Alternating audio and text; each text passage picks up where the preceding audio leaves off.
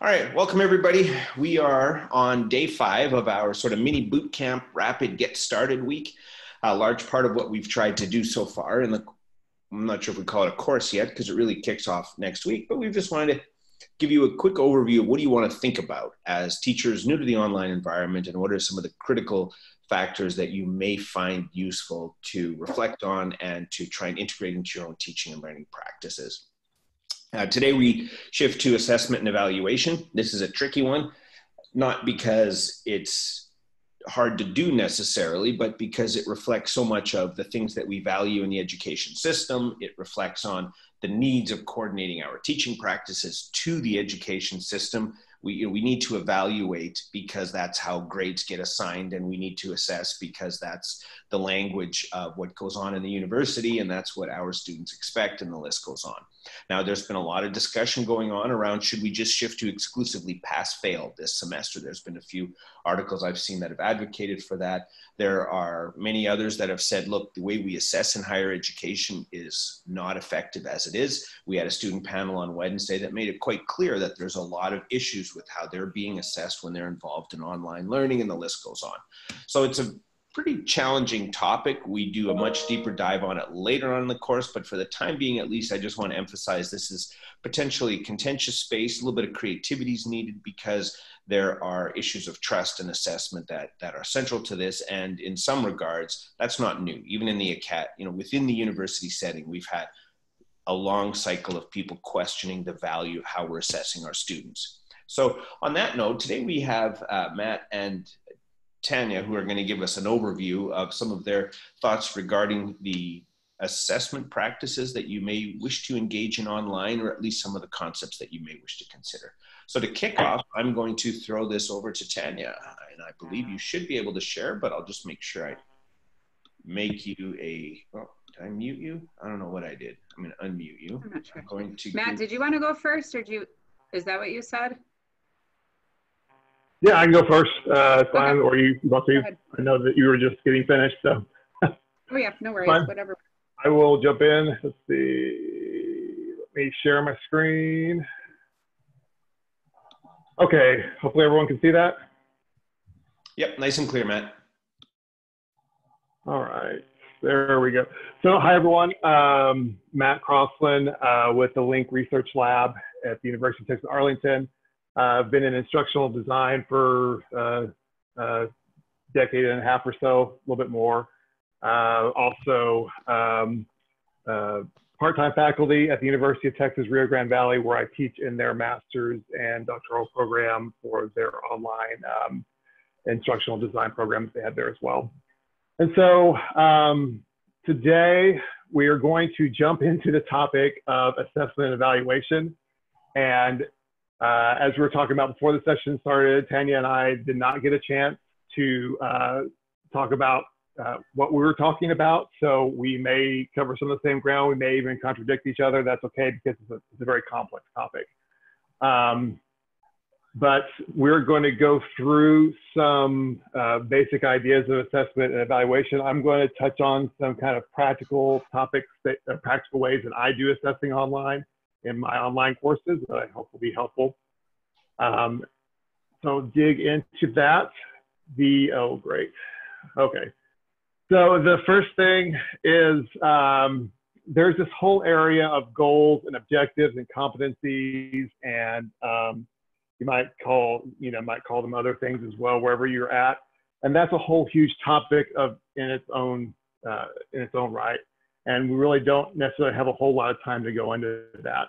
But I do want to get you at least, and you may not have a whole lot of time to think about these as you're rushing online, but at least keep in the back of your mind that keeping some type of alignment between whatever your goals or objectives or standards or whatever you call them are, and your content activities and your assessment is very crucial, especially when you go online. Uh, this is difficult when you're switching from face-to-face online because it often exposes a place where your alignment is lacking in pre-existing materials. And what I mean by that is that when I've worked in the past with professors to help them move their courses online, uh, we often found places uh, sometimes after the course had gone live to where they're actually testing things that they had written into the test material, but they um, uh, didn't realize that it was just something that they had. Someone's editing my slides. That's cool.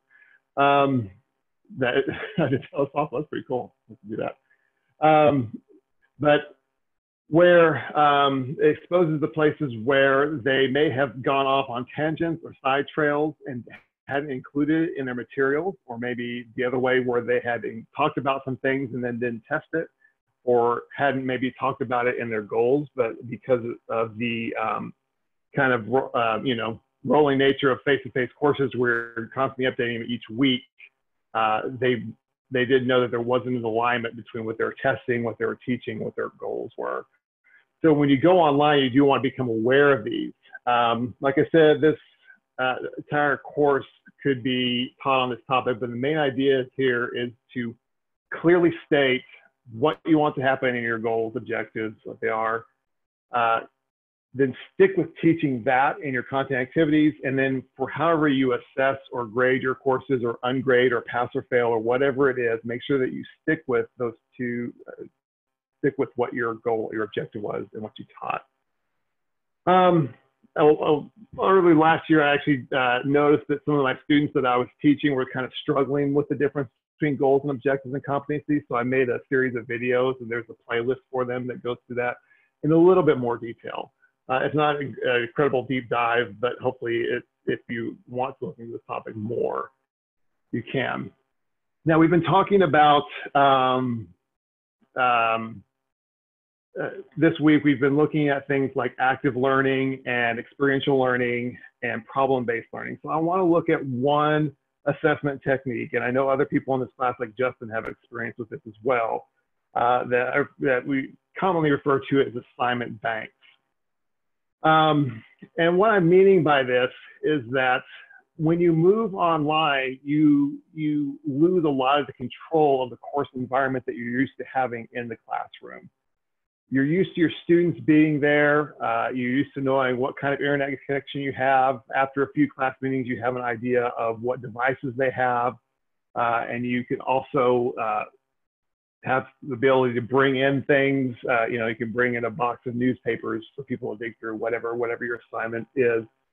But going online, you lose a lot of that. And especially now, what we're dealing with now I mean, we were just dealing with, you know, Tanya was, you could probably talk about this, how all of a sudden there's this order of lockdown or quarantine. She wasn't sure for a while. And our students are going to be in that same thing where they're also losing a lot of control that could just change from day to day. So we're not only dealing with the normal loss of control that going online comes with. If you weren't aware of that, then surprise. Um, but we're also dealing with uh, this whole big societal thing that's losing control even more. So because students will be in these different contexts with differences in text, differences in the real life access to things, you kind of have to think of assessment in a more flexible way because they may not um, have access to, say, if you're wanting to grade a term paper, but what if the library website goes down?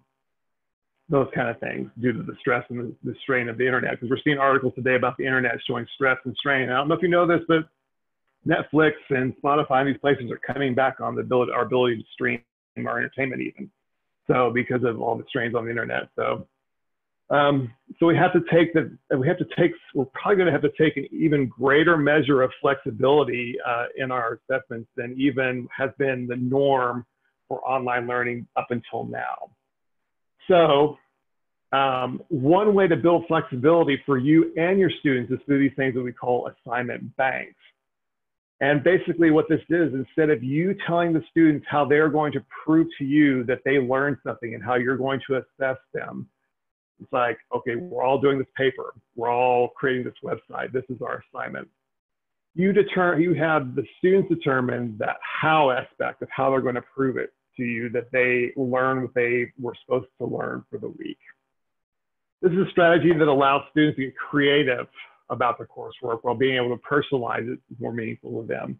And what I'm meaning by this is uh, you don't necessarily have one product they turn in. I think I've been touching on this, but uh, it could be not just a paper. It could be a video that they create. It could be a pictograph that they draw. It could be an interpretive dance. It could be lots of things. Uh, I think Justin had someone do uh, a comic book and uh, a stop motion Lego video to, to, to, to prove what they had learned about history because he's a history professor as well.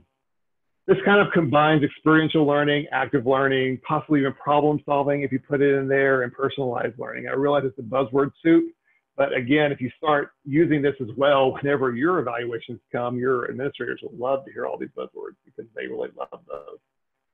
So an assignment bank and structure is uh, basically, it is um, uh, it, is what it says it is, assignment, a bank of assignments. You could call them activities, you could call them a project bank, and you can call it different things. But the main thing you want to do is think through the questions and concerns of students. Don't just throw some directions at them and leave it at that. Don't just spend five minutes putting together and leave it at that. Um, the bank part of this is a list of example projects to do. Don't assume that they always have ideas. And so what I mean by this is that an assignment bank is kind of a pre-list of ideas that you could give to the students for how they could finish the assignment or how they could complete the assignment. And the way you look at it is that the learners can choose to follow your ideas, they can choose to modify your ideas, or they can choose to create their own ideas in this. Um, we'll get to that one in a minute. So, um, and this is one way if you have your learners um, give them some flexibility over what they can choose to do. This gives them the ability to deal with life and all the things that are going uh, kind of weird around them and and deal with even their own technology needs to come up with a way to show you that they learn what they learn. Uh, also, you will want to consider some kind of assignment hub of some kind, you know, discussion board or something so that the students can share what they're working on with each other. Um, and as we talked about in earlier classes as well, um, you know, the question for a lot of it, for a lot of these assignments is, you know, how do we get these students, how do we get it so that students aren't answering or creating all the same project and doing the same thing over and over and over again? And the answer to that that we came up, I think, in the last session was make sure you come up with a problem or assignment instructions that um, is is something that would be different for each student. Don't just have them answering rote, you know, questions that would be the same for everyone in there. Um, but I would also say be ready for your learners to look at something like this with suspicion. They're not used to this. Uh, they're, they're probably used to being told specifically what to do and how to do it. Um, but you will want to maybe give them some scaffolding steps to assure them uh, that they can do this and you really want them to do this if you, if you do go this, this route. Um, we have some examples of what an assignment bank could look like. Uh, this one right here, I'm not sure if I click on this if you'll still see it or not, but um,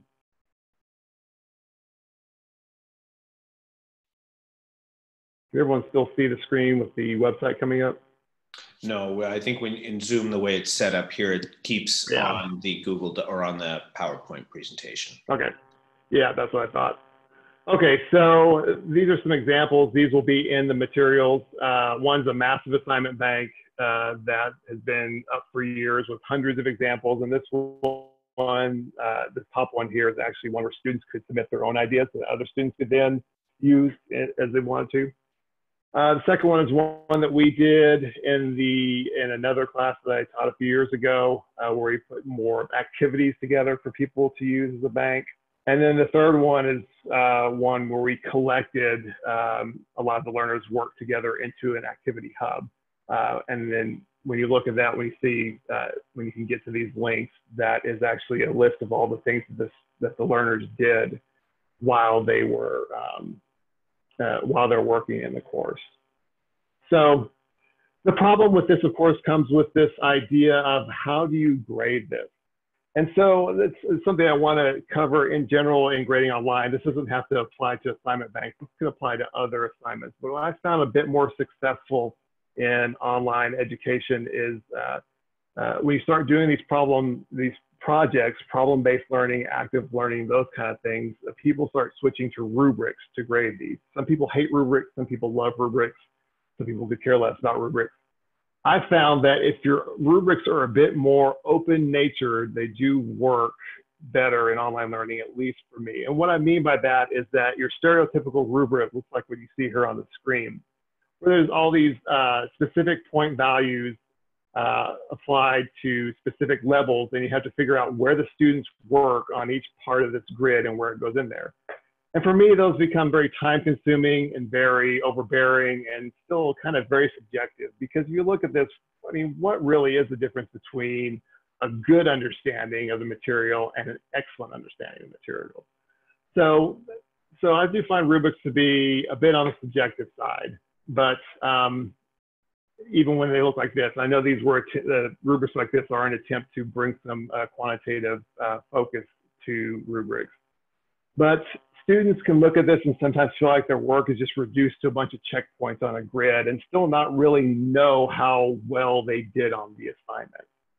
So I, I in my classes, um, take on more of something like this, more of an open-ended rubric uh, approach to grading in courses because this focuses more on this focuses more on why they got a grade instead of just the grade itself. And what I mean by this is that I have kind of general areas you know, the issue question, the organization, validity of argument, doesn't necessarily focus as much on the technical skills of things because, uh, again, that's not really what I'm testing in the course, but it kind of focuses on how did they prove that they know what they know.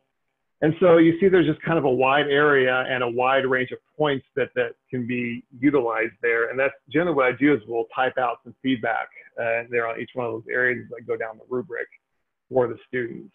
Um, and this is kind of way I look at it, uh, it's kind of turning the grades more into an interactive thing, so where they get that feedback that they wouldn't necessarily, that they sometimes get in face-to-face course where they can come ask you about, well, why did this happen? Or even before it, do they come ask you, well, what do I do about? And when I start, when I use rubrics like this, in my courses, it, it kind of uh, in some way mimics, some way replaces that face-to-face interaction uh, that sometimes goes missing when you go online. Um, and like I said, there, this could also be used. Uh, George was talking about the ungrading and the pass-failing, uh, pass-fail movements that are happening.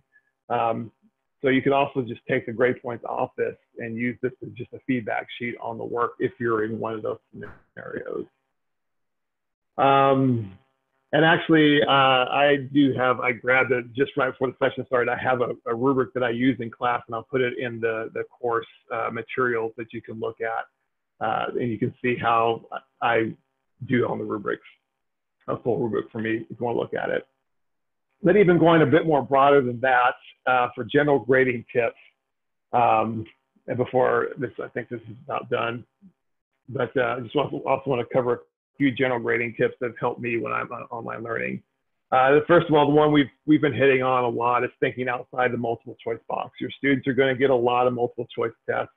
I mean, we're, we're working with faculty all day this week, all day, every day this week about their questions, and they're constantly asking about tests and questions and multiple choice and browser, uh, lockdown browsers and proctoring tools and all that. And I'm just telling you, your students are going to be overwhelmed with those high stakes uh, standardized tests that are mostly multiple choice questions. And so if you could think outside of that box in any way, uh, your students would probably love you for it. Just something maybe that gets them to work on something more experiential, more applicable to their lives, more just off the computer even. Um, and we also heard from our students who were here a couple of days ago. They kind of said a lot of the same things here. They they're they're tired of these. Uh, they're getting tired of these uh, really rote answer things. And we're also seeing. I saw a lot of reports today about these proctoring services that are claiming that everything's going great with their with their testing services. It's not. They are straining, and the students are finding ways around it. You know, and and students find ways if you you know students find ways around how to, you know, cheat in your face-to-face courses as well. It's going to happen online too, but um, the, you know, all these proctoring services, um, anyway, there's a lot I could say there, but it's, it's just not looking good for those. Um, something that I do a lot in my class is I encourage my students to turn in their work to me early before the due date in, in time for me to go over and get it back to them so I can give them feedback. And this does a couple of things. one of the things it does is that it helps me spread out the grading load a bit. Because if they can turn the assignment or the paper or the project into me early, I give them feedback on it. Then when it comes to grading it, uh, I'm really just looking for what did they change based on my feedback. And it goes a lot faster for me when I do that. What I have found though is that for some reason, if I just tell my students to give me my give me their projects for feedback, a few of them will, most of them won't. won't. If I call it free feedback, all of a sudden a lot more of them turn into me. I don't know why, they just do. But you know, it's I mean, they still pay for the course. It's not really free, and it's not any more or less free than it would have been the other way. But for some reason, that word free just encourages the students to more students to turn it in. I don't know what it is, but I know that every semester, if I say free, I get a lot more people turning it in. Now, as far as quizzes, multiple choice quizzes, I'm not saying that there's no place for them. I've just found that uh, they work a little bit better as knowledge checks. Uh, basically, uh, quick five to 10 questions. I think I mentioned this on Monday, uh, where you give them unlimited tests and you just cover the stuff. This is the stuff I wanted you to learn. No tricks, no gimmicks, no gotcha answers, anything. These are just questions. Take them as many times as you want and this will uh, show you what I'm hoping that you learn. And I think that to some degree works as long as it's low, uh, low stakes on that. They can take it as many times as they want to to get 100 or whatever. And I've also found that students will come back and take the test again, even after they got 100, if they run into something they're not sure of, they, oh, I think that was on that test, that, that uh, knowledge check quiz there. Um, some of those things can help students kind of, uh, especially in these, they're not certain, they're new to new to online, they're new to you being online because they've never been with you online before, can kind of maybe help them, uh, give them a sense of what you're, what you're hoping they come away from the course with. And then if possible, uh, consider ungrading. There's kind of a move for this um, or the pass fail, pass revise. I hate the word fail, so I usually use pass revise myself. Um, there, there, there's a lot of resources out there, and I realize some of you, like myself, I can't do ungrading where I'm an adjunct at because I have to turn in a grade. Um, but where you have that power to do that, the ungrading process, uh, there's been a lot of people who've worked on that and researched that, and it becomes this way of what I've been covering all along is having to turn the grades into more of a conversation rather than just a gotcha system of trying to, to figure out who you can, uh, you know, who you can rank in your course according to their grades and those kind of things. Uh, but probably what we'll see more realistically is uh, if the pass fail uh, stuff or pass revise, uh, or if, if, people, if we do get people to reconsider grading, that it'll probably be the pass fail or pass revise that will probably uh, be um, something that will be more uh, accessible to administrators. Uh, I tend to look at my discussion grades and interaction grades uh, that people like to put in classes as more pass revise than score based as well. Uh, that just that helps me just kind of uh, move students through the process of learning how to interact without having to fret over specific point values for each discussion post that they do as well. So that was uh, what, probably longer than I should have, but that was a really quick and very incomplete look at grades. So I will now um, pass it over. I think I saw some questions popping up, but couldn't look at them. So. Sure. Uh, thanks, Matt, for that. I think that's a great overview of a number of, of approaches and ways that you can deal with assessment and evaluation. I think, in particular, the difficulty here is that online environments often are not less impactful for assessment than an in-person environment what i mean with that awkwardly phrased statement is that you think you can save some efficiencies by moving online with certain kinds of testing and so on and yet you often don't end up with those efficiencies being realized because you take more time and effort to evaluate what you're doing rather than here's a you know here's a test that can be scored automatically or here's some other approach that you're using for for assessing your students. So, how do you comp- deal with the time constraints? Because if the quality of assessment online can actually be better than, it, than an in person class in some ways, then how do you deal with this idea of even like the free assessment point that you mentioned? This is all extra mm-hmm. work for you as an instructor. And let's say you've got 100 students or 200 students in your course. That can get to be pretty overwhelming. Now, I know you mentioned you're not against the idea of assessments through quizzes or online, uh, you know, proctored exams, but do you want to talk a mm-hmm. little bit about the workload component of it and how you manage that? Yeah. Well, the, the free feedback thing was actually a thing that I did to deal with the workload because I found that it spread it out. You know, instead of it all being concentrated, here's your deadline, everyone turns it in, I have to grade 100 papers at, starting at that point. I started getting, you know, 20% of the students turning it in. And, you know, I, am looking at, I'm looking at telling them to turn these things in two, three weeks out before the deadline, as soon as they can get a rough draft. And then you, you start seeing kind of the, the students that are the high achieving, you know, early workers start doing that. And then the ones that, you know, get closer and closer to the wire, the more, like I said, once you've given them feedback uh, on those assessments, then that saves you time grading those specific papers after the deadline. Um, another thing that uh, I also look at is that, um, you know, I, I, see a lot of people forming these grading schemes and rubrics that are just very long and very complicated, very detailed and multiple points. And you got to get your, you know, you got to get your complex algebra out to figure out what your grades are going to be because they're so complex and and that you know and they they try to just jump into online their first online course with all this stuff and i'm like that you know that's just going to um, that's just going to add to your time because you're going to have to figure out those grades you're going to have to fill out those rubrics as well.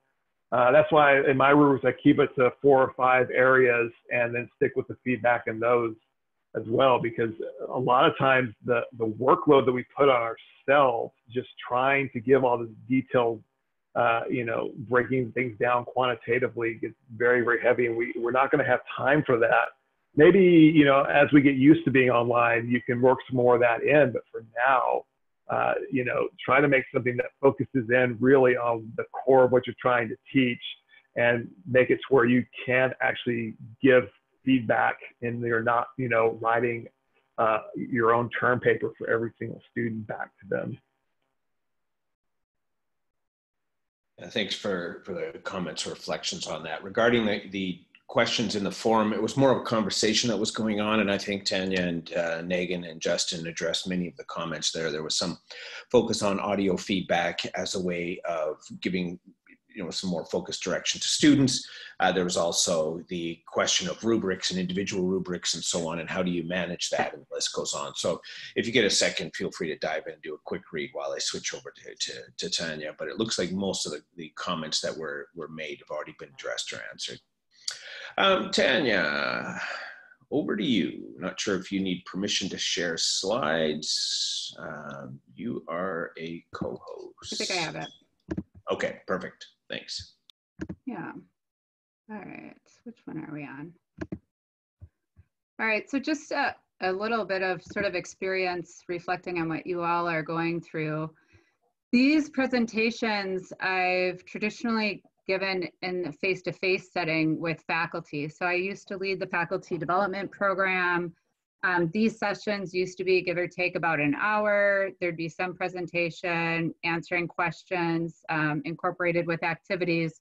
So it's new for me as well to take some of these presentations and try to turn them into brief 10 minute um, synchronous live presentations with you all that then later we will go into a deeper dive asynchronously. So I'm definitely feeling um, some of the challenges that you all have as you are taking your face-to-face information and trying to condense it down. The reason that we try to keep things at around 10 minutes is because we know from the research that presentations and lectures and those sorts of things should be chunked down because of um, our ability cognitively to sort of soak up that learning and, and anything longer is a bit of a challenge.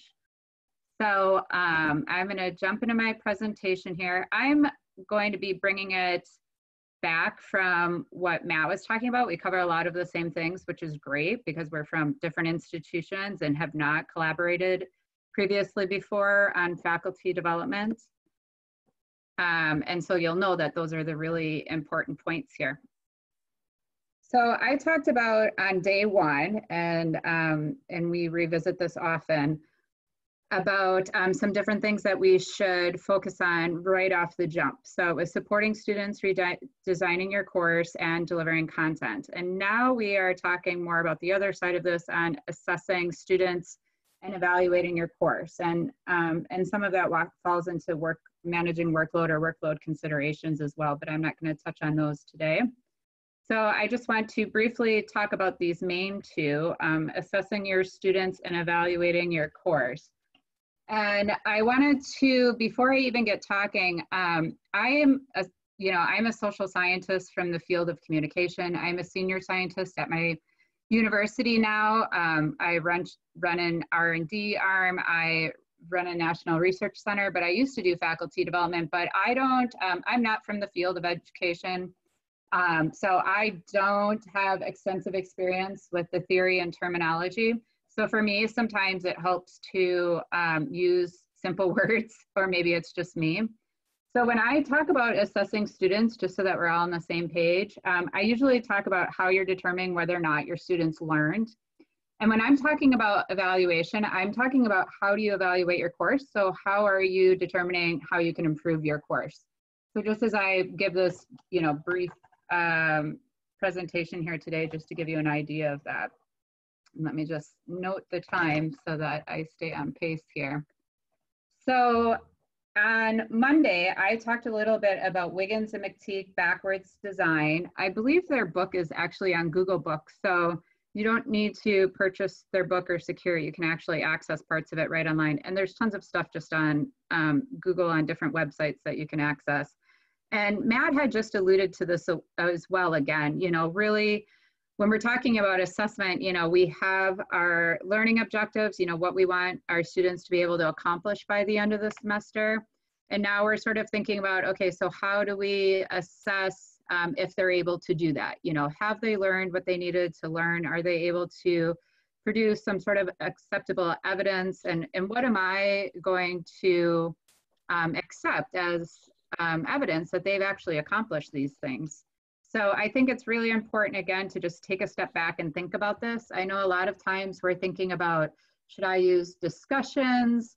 Should I use the Dropbox? Should I use different, you know, quizzing?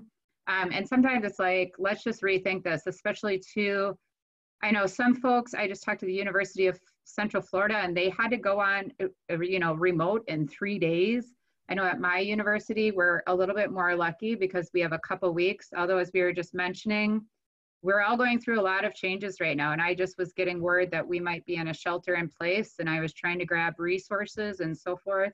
And our students and ourselves are going to be going through these same things in the next few weeks. I'm also not feeling well. So anyways, be very forgiving of yourself um, and your students and use those three C's that George is always talking about that I can't remember, but CARE's in there. All right, so I just really, um, I could talk about assessment. Matt went far more in detail with it, which is great. We are actually in the upcoming weeks going to get in much more detail, but it's good to just get you started in thinking about it. Again, just re-emphasizing, making sure that your learning objectives are measurable. When I was in communication, I remember my first course was like, you will understand the human um, nature of communication. And I was like, how do you measure that? That's really interesting. Um, so, you know, sometimes you might have to rewrite some of your learning objectives, but just think about aligning that. Matt already touched on moving beyond exams. As somebody who used to be a psychometrician, I can very much understand the value of multiple choice items and measurements, but I think that in online learning, there are lots of forms of low stakes frequent feedback that are better for learning um, than just traditional forms of cognitive assessment like multiple choice questions. I really like Angelo and Cross's um, classroom assessment techniques, CATS, not like the friendly kind in your lap. Um, their book is from 1990. Um, and so again, I think that's on Google Books. You can look it up online, but there's tons of different activities that you can do to check in on your students to find out if they're learning or not, or provide them with reflective activities, uh, potentially with some emotional attachment, think, their, think, pair, share activities. So there's lots of things you can move beyond exams. I also do a lot of group and team-based learning. um, for my students because I know that aligns with one, my um, disciplinary area that I teach, which is primarily communication technology groups or organizational communication. And so um, there's lots of, uh, you know, as George talked about yesterday, some experiential things as well. So I usually use quizzes just as Matt had alluded to. So if I have students do reading or watching some lectures, mine or ones I've curated on YouTube from like Anthony Giddens. It's funny how I would give lectures, but now YouTube has the person who wrote the theory actually giving the lecture. So no need for me to give it. Um, but I have those quizzes just to make sure that, um, you know, people are doing um, the reading and those sorts of things. And they help me identify what they did and didn't learn so that I can take time in the discussions to address what I call the weaknesses in their learning. So that in that way, it's just one way that online is so much better to me than face to face because I feel like I'm just looking at a lot of blank faces and hopefully people talk and speak up. But online, I actually can get data and know what they do and don't understand. And sometimes there's things I've taught for years and had no idea the students didn't know what I was talking about, like Maslow's hierarchy of needs. And the research that we're doing at the DETA Research Center, and I included earlier, and it's included on the research page, is an article that we did. And one of the really big things that came out of that around assessment was making sure that you are providing clear um, grading and expectations to your students. So um, very much, you know, how are they being graded? What's expected of them? They don't want to be tricked into, you know, guessing what you wanted from them out of an assignment. So, and when you're online, you don't really have that face-to-face time to answer questions and introduce an assignment to them and so forth. So again, assessment is really about unpacking those different things for your students so that it's not a game for them. There's real, I like to call it ease of learning um, that there's no hurdles for them to learn, that they know what they're supposed to do and they're able to go and do it and produce evidence for you. Uh, Matt talked about rubrics. There's a couple reasons why I'm an advocate of rubric. Early on, I was like, what are these? Why do we use them? And I'm so confused. I have no idea how to create one. Um, I found rubrics really useful and in our research indicated this as well because rubrics really help identify guidelines um, for students as far as their performance. It's a great tool to help manage your expectations for students or unpack your expectations, especially when you're online. So I think they're really great. They also help you manage your workload. As I mentioned yesterday, um, when I shared my rubric, is I actually have, I've redone my rubric. It's very personal now where I can actually take statements out of it. I call them need, like I need you to do this. It was all the years of teaching conflict, I think, but I need you to do this and I can paste that into the LMS and to the qualitative comments so that they more specifically know what they need to do. Um, the other thing is the scaffolding. So if you have bigger assignments um, online, whether it's a group-based or individual-based project, and I tend to have both, um, and usually what I do is every week or bi-weekly, I chunk down those larger assignments so that students are getting feedback on every different piece of it. So by scaffolding their learning, I'm able to give them feedback as the course goes on and it's quite, um, it's not automated, but it's quite efficient because they're able to submit it online. I'm able to provide feedback online, things that we don't necessarily do face to face. And at the end of the day, um, I find that I see a lot better projects coming in for my student groups and my students as individuals because I was able to do this. So those are just, um, you know, I just wanted to provide you with some key considerations that I felt from my research and practice uh, and some of the literature out there of what you want to be thinking about as you rethink your assessment here, um, moving through to the final weeks of your course or in planning for your summer fall courses. The next thing I briefly want to talk about here in my final minutes is the evaluation or evaluating your course. And so again, um, evaluation is determining how to improve your course. I firmly believe that evaluation is something that happens through the life cycle of your course. At the bottom of your screen here um, is a link to the course evaluation checklist. And I should mention I have an uh, assessment um, plan checklist that I included there as well. This one is um, an oldie but a goodie, but what I used this before previously in faculty development um, is and I developed this years and years ago from um, some of the Cal State University Chico from Quality Matters. I've later turned this into an instrument and done some research with it um, and student um, perceptions of the course. Um, but what I used to do in the beginning, and a lot of you guys can do this over the weekend, is you can take the course evaluation checklist and you can check the things that you want to make a priority. Um, so what are the things, you know, put a one if you really need to make it happen, you know, a two if you'd like to, and a three if there's no way it's going to happen this semester. Um, and that way you have an idea of the different things that you might need to do in your online course. And then also you've sort of prioritized what you want to do with those moving forward. And so um, that's sort of the life cycle. Like you can start evaluating your course before um, the online versions even launched. Um, you can evaluate it while it's taking place. I love doing um, some things in the, you know, after the first week is asking students what's one thing you really like and what's one thing you'd like to improve. Um, because this should be an opportunity for you, again, as I said earlier, to, you know, you're in this with your students and let's try to make the best um, out of it so you can continually improve it. Don't look at your courses. This is something you have to have done, ready to go, well structured and in stone by the time you uh, pivot online and start your remote teaching, but something that um, will be a little bit more um, iterative.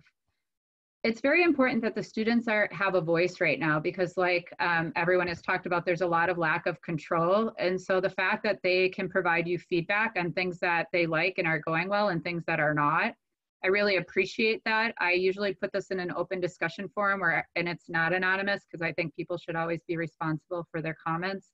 Um, but usually I take all of those comments. It's great because you'll see, you know, if 80% of your students are like, this is too much work, you know, I'm sort of, well, the old me was like, suck it up. Now I'm like, oh, whoops, care, empathy. Okay.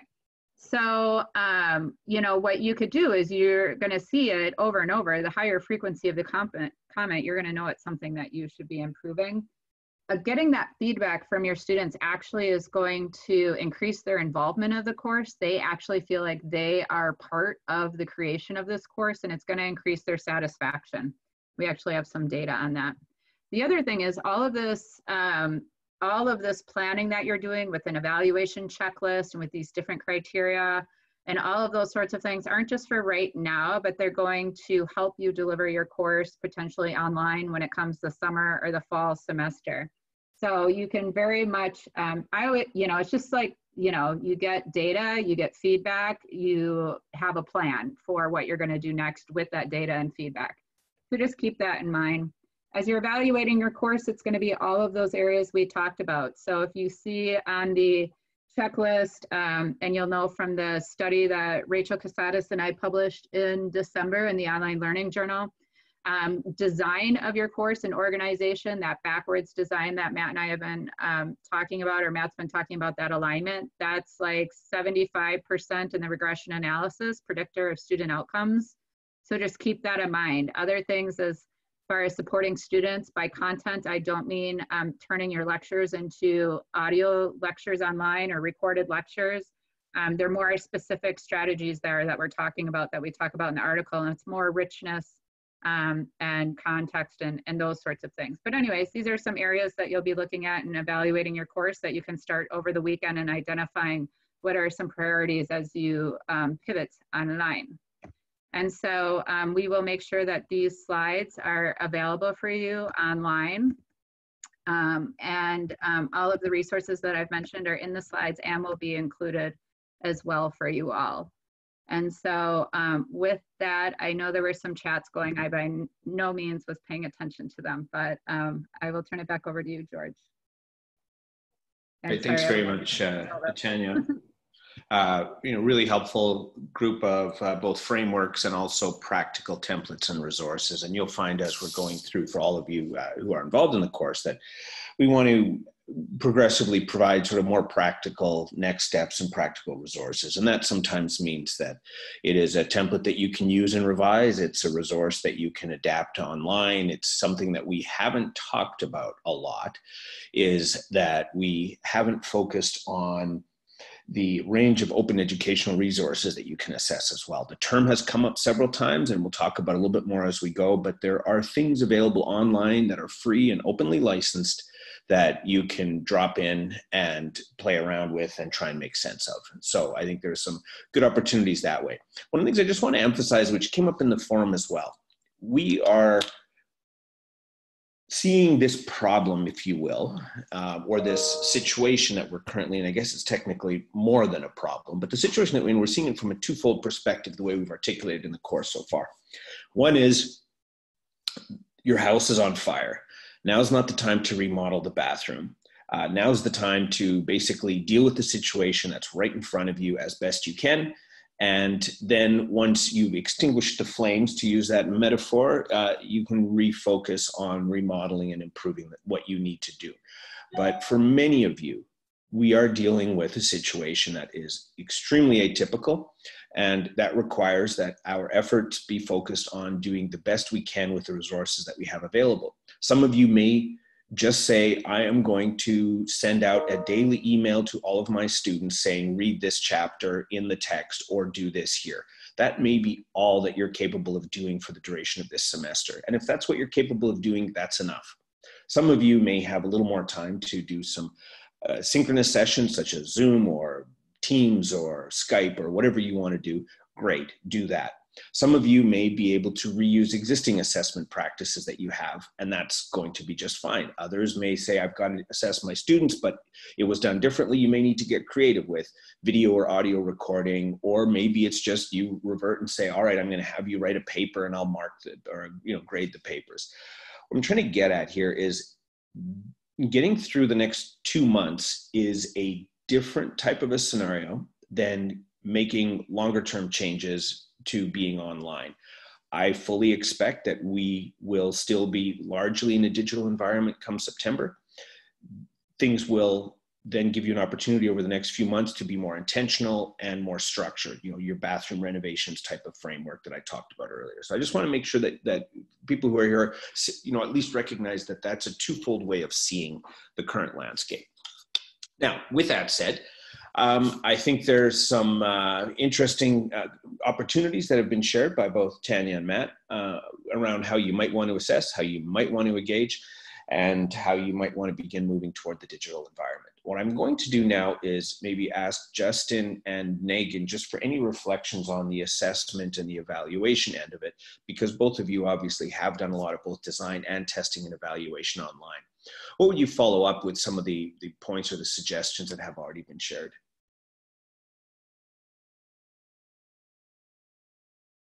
Um, sure, I'm happy to go first. Um, so on the evaluation end, um, I often find that um, evaluation is done at the very end.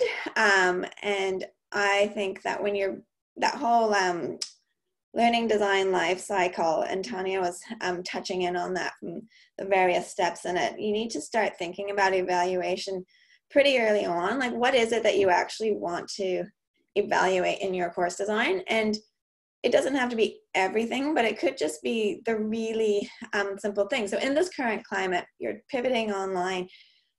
It could be as simple as you know did your students um, were they able to access your content? Were they able to have some interaction with you and with one another? You can keep it keep those questions pretty simple. It doesn't have to be overly sophisticated. And then looking at, well, what sort of data can you use in order to be able to answer those questions? Um, so I, Tanya mentioned it in her presentation. If it's online, you can um, get a sense of how students are faring, like the little questions that you might ask them, like little multiple choice self-check questions, for examples that you might put in. You can then go in and see, well, how many students actually did that self-check? How, how did they do? Did most students um, have difficulty with a particular concept? And then you might do a quick little video explaining that concept. Um, but those are those little feedback ways across the course to be able to get a sense of how your students are doing. You can build in little touch points in the course, again, to get that sort of feedback. Um, sometimes I ask my students just to tell, you know, three little questions, maybe after every couple of weeks. Um, what do you want more of? What do you want me to stop doing? Um, what do you want me to start doing? Um, and it can be set up um, anonymously in a form or, or, whatever tool you want to use. And that way you're just getting little bits of feedback throughout the course um, and giving that control element back to the students to be able to share that feedback with you. And then at the end of the course, you can take all these different little data points, whether it's that um, feedback throughout the course, how students do on their assessments, how students um, engage with those self-check activities to see how the, how the course went. So it's all those different elements. I also think it's great to try to engage your colleagues, particularly now um, when we are, a lot of us are working remotely um, and it can be a little bit isolating and it's not as easy to um, engage a colleague. I think it's when it's really critical now is um, you know, contact a colleague and ask them to just look over your course or look over the video you made or any sort of thing. And that that's that peer feedback element, which I think is just as important um, when you're evaluating as the student feedback as well. Those, yeah, a few little tips there. Yeah, Negin, um, definitely. Um, I want to echo a lot of things that you said. Um, I was definitely thinking about that, the formative um, elements, you know, and and I think part of that also could be don't try to do too much too quickly, as your uh, learners are going to um, be transitioning to the space and thinking about some of the load that they're having to deal with um, of having to completely learn new environments, new tools on top of everything else that's going on. So, um, you know, some things that are a little bit more manageable and bite-sized uh, perhaps instead of big, long one hour tests, um, doing some other things along the way might be able to um, help in terms of at least some of the flexibility and the care that we're talking about.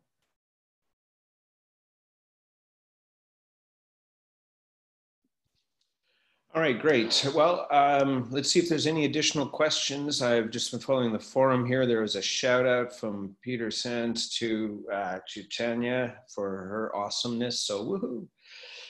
the uh, Negin gets a shout out for her background. So there, you know, one of the things I find interesting too, and, and I do want to emphasize this: this is a space that is marginally depersonalized, but has its own character. There are ways that, for lack of a better word, and I'm not saying that Negin's trying to make the space fun, but there are ways that you can make things personal. There are things that you can do that help make it less. Oh, look, there's George's head on my computer screen again. Great, another hour of this so I encourage you to do that. Like make the space yours as best you can, play around with memes and discussion forums, foster certain types of engagement and creativity and so on. Recognize students that are willing to try and make the space fun because at this point we're going to be here for at least a significant amount of time. And that's not the easiest thing for us to be able to, to articulate. Now, the other thing is, is there's a, a, few different questions being uh, shared around specifics of technology use. One of the easiest ways to do that, I think, if you're able to, is go to edX and ask those specific questions in the discussion forum. That'll allow us a space to have not just us respond, but others as well. As you'll note, I'm not sure, no idea how many we have here, but let's say we have five or six or 700 people in the course. I think it's in that range. And that means that a lot of you have the expertise that someone else needs. And by making your request explicit in the discussion forums, there's opportunities for others to come by and answer that rather than just, you know, the four of us that are kind of, uh, you know, trying to, is there four of us, five of us? I think five of us that are trying to coordinate the course. We, we really, in a networked environment, an online environment, a big part of your teaching strategy is to activate sort of the latent knowledge and capacity that exists within your courses and classrooms. So I'd encourage you for a lot of those kinds of technical questions, and maybe Justin, you and I can chat later about setting a sort of a forum for specifically technical practice kinds of questions that people have, such as how do you do this in Canvas and how do you do that, and the list goes on. So I think that's sure. a great opportunity to go. Yeah, I think that sounds great. All right. Now, Anita also has a question. Being in occupational therapy, much we do is hands-on. We do demos and practice, but don't have time to hold individual testing. Right now, I'm trying to figure out how they can demo vital signs testing. That's a great uh, point, Anita. One of the things that I found in the past, and this was years ago, I was in Manitoba at the time. There was a group there that did hairdressing, and, and we developed an online course for that particular field. This is like in 2002, 2003. Skype was just very early stages, and they actually did one-on-one testing, or you would have students record a short video using any number of tools. Anybody who has FaceTime or has any mobile phone these days has video recording capabilities and they would actually have somebody record it or they record it themselves and they would post it uh, online. So there's a number of ways or approaches that people would try and get that kind of concept across. So there are simple approaches that you can still duplicate that. Now if you require another human being especially in time of social distance that may make things a little bit harder to be able to communicate that uh, let's see, anything else? Someone else. Okay, Tanya mentioned nursing programs are fully online. It is competency based. Videos may help. So Henrietta addressed that already. Yeah, great to see. Great to see you all helping each other and asking, answering one another's questions. Uh, I think we're kind of at the end of our session here today. Next week, we want to start getting a little bit more practical. We won't necessarily do these weekly discussions, even though there have been a number of interviews that we've had with experts in the field over the last week and, and numerous coming. So each week there'll be about two to three, maybe four interviews with different researchers that can provide practical guidance. We're also going to, as I mentioned, bring in more of the, here's a template that you might want to do this with, just to give you a little bit more scaffolded guidance. But the rest of it is really important with these kinds of courses online is we also need you to share what you want to see that's a great place in a discussion forum or even to email you know any of any of us and just say i'd like to learn more about this or can we talk about this? Because we do want to be responsive to you and what your interests and needs are. On that note final thoughts matt and tanya before we wrap up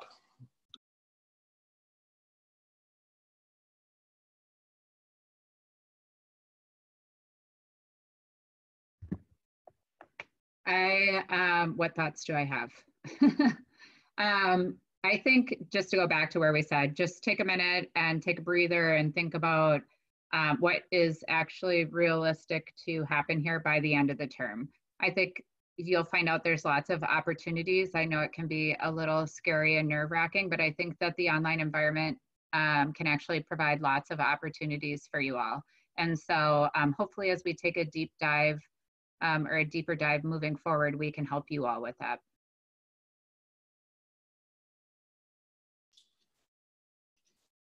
All right. Well, I think, uh, Matt, if you have some concluding thoughts, I just saw your mic unmute.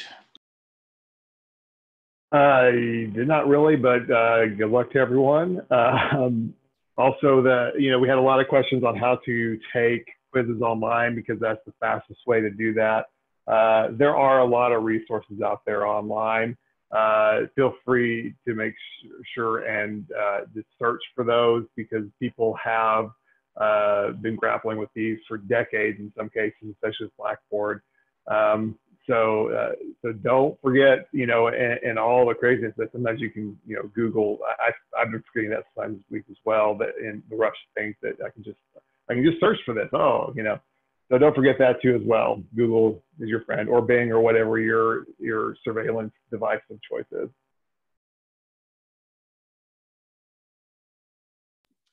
All right, great. Well, thanks everybody for spending time with us this week. And we are going to keep going. We'll do live sessions during uh, next week as well, just on a daily basis. We'll move a little bit more toward asynchronous. Take care make sure you carve out some time for your own sanity and your own uh, you know, mental wellness and recognize the challenges that your students face as well because they are almost guaranteed more disoriented and more overwhelmed than than we all are. So a little bit of kindness goes a long way uh, except to serbians. Serbians as a rule are a cruel cruel people. Um, i hope you have a great rest of the weekend. Talk later